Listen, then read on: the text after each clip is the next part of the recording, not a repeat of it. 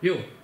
A B csoportnak a második feladata egy szöveges példa, tehát van egy termékünk, amelynek az eladása során a heti bevételt ugye ez a függvény írja le, a nyilván darabszámnak mennyiségével, és eh, a kérdés az az, hogy mennyi az elérhető maximális bevétel, tehát az R értékét kérdezi, ha hetente legfeljebb négy darabot tudunk gyártani, tehát a Q-ra vonatkozóan van az, hogy Q az legfeljebb négy, de természetesen ugye gyártani tudjuk ezt a terméket, tehát akkor egy alsó korlátunk is, hogy a Q az 0 és 4 között van. Tehát ezen a zárt korlát, a zárt halmazon kell megnézni ennek a folytonos függvénynek a szélső értékét, ezt pedig a következő képpen fogjuk megtenni. Ugye az R vagy Q-nak a függvénye, azt deriváljuk, megnézzük a kritikus pontokat, ahol az első derivált ugye nulla, tehát akkor nézzük a deriváltja a függvénynek, az nem lesz más, mint hogy itt ha hárommal osztva van, tehát akkor az itt 3 Q négyzet per 3, mert az csak ilyen Q négyzet, mínusz 8 Q plusz 15, és kritikus pontokat megkapjuk, hogyha megoldjuk, hogy ugye a derivált egyenlő nullával, megoldó képletek segítségével kapjuk azt, hogy a Q 1, 2 egyenlő, tehát akkor ez itt van 8, plusz, mínusz, gyök alatt ugye 64-ből, hát az 1, az 60, tehát és el kell osztani 2-vel, tehát ez 8 plusz, mínusz, gyök 4 per 2, gyök 4 ugye az 2, tehát akkor ez itt lesz az első 8 meg 2 az 10, per 2 az 5, ugye 8-ból 2 az 6, és akkor lesz 5 és 3. Tehát a két kritikus pontunk a Q1, 2, ugye ez az 5 és a 3 pontok. Jó, nézzük csak itt van a zárt intervallumunk, ugye itt van a 0, itt van a 4, és akkor most szépen ezeket a kritikus pontokat fölvesszük.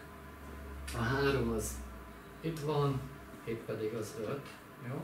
Na most az 5 az kívül esik, tehát ugye, hogy a célsértéket meghatározza, akkor mindig a függvény ki kell értékelni a végpontokban, illetve azon pontokban, kritikus pontokban, amik beleesnek az adott intervallumba. Tehát akkor ezek alapján nézzük, szükségem van ugye az a nulla, tehát a Q egyenlő nullát, Q egyenlő 3-at, és a Q egyenlő 4-et kell kiszámolnom.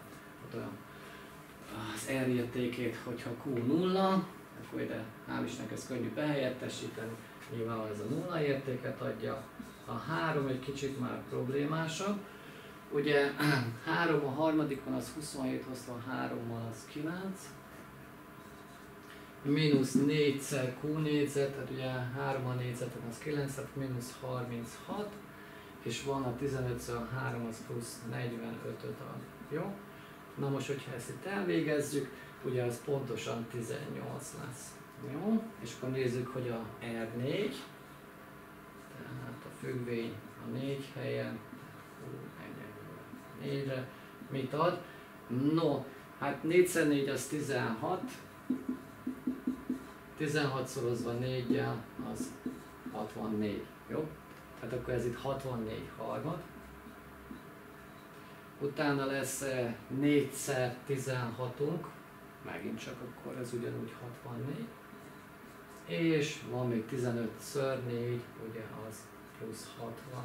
Tehát akkor ez itt 64 harmadból 4 egész, ugye a 4 egész az pedig nem más, mint 12 harmad, tehát akkor ez 52 harmad lesz. Most a három szám közül kellene kiválasztani, hogy a legnagyobb, a maximumot keressük itt a maximális bevételt.